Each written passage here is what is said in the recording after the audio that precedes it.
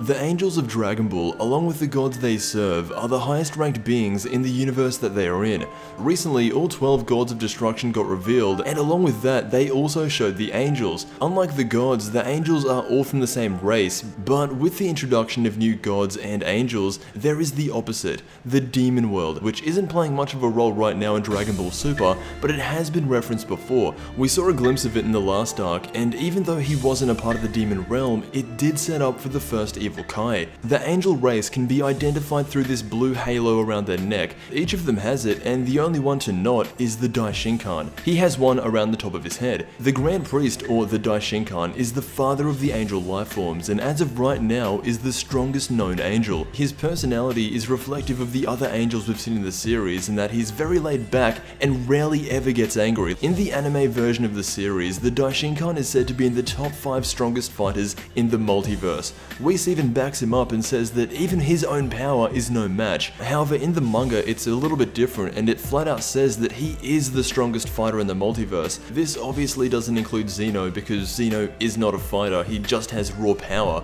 which I guess is why he's so amazed at all the fights going on in the multiverse tournament.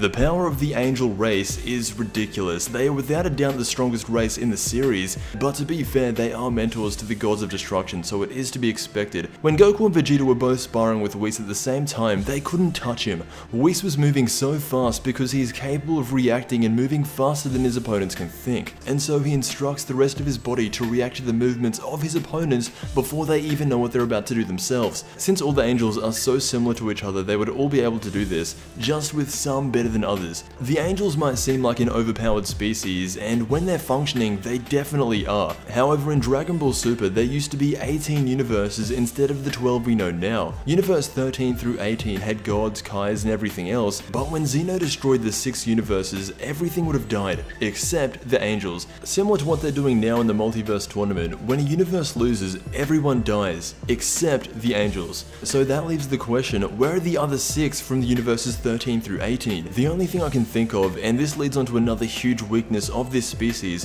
whenever the god of destruction that the angel attends to dies, the angel will lose all of their strength and stop functioning until another god appears. Since there was no replacement for universes 13, 14, 15, 16, 18, and 17, the attendant angels are still not functioning. And that makes me think, if universe 6 or 7 lose, what's going to happen to Whis and Vados, because the god that they serve will be gone.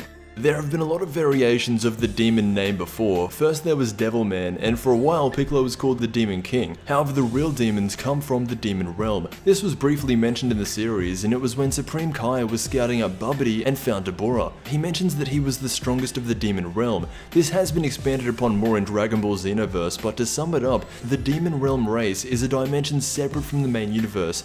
It's actually located on the opposite side. Considering Dabura was their most powerful, they are nowhere near as strong as Whis or any of the other angels. However, they do have special abilities. Dabura was able to spit on something and instantly turn it to stone. The only demon to become a god was Demigra, and that was only in Xenoverse and not yet in the main series. Probably the most interesting type of demons are the Makaio Shin. These are demon kais and have yet to be shown in Dragon Ball and only mentioned in guidebooks. So far Zamasu is the closest thing to a Makaio Shin, but even he is still not 100%. To be a Makaio Shin, you have to be a Kai that was born in the demon realm, so basically like an evil Kai. What I'm thinking with Zamasu is that since Zeno destroyed the universe he was in, everything is gone, but his conscience is still immortal. Maybe he slipped through to the other side of the universe into the demon realm. Anyway, that has been the Angels and Demons. Dragon Ball Super right now is focusing a lot more on Goku and the other universe's fighters more than anything, but the Angel race is becoming a lot more known as the days go by, so let me know what you think of them. I want to thank you so much for watching, and I will see you in the next Dragon Ball video.